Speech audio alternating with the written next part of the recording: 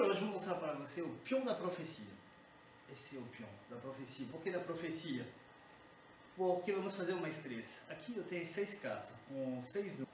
Número 1, número 5, número 4, número 6, número 2, número 3. E uh, as cartas podem ser misturadas, mas realmente misturadas por qualquer pessoa. Realmente.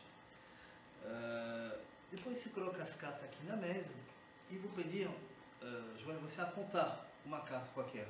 Certo. A segunda do lado esquerdo. Essa aqui, você aponta? Isso, isso. Tá certo? Então, você não apontou esse, você não apontou esse, você não apontou esse, você não apontou esse, somente apontou esse. Por favor, olha a sua carta. Né? Essa é a sua carta. Imagine, João, que você estivesse aqui e aí eu ia colocar isso na sua, na sua cabeça, tá certo? Para ler dentro da sua mecha.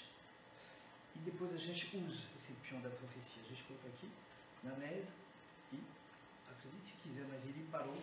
aqui um número. Tá vendo? Ele escolhe o número 3. Esse aqui foi seu número? Exatamente. É, exatamente. Mas a dois, né?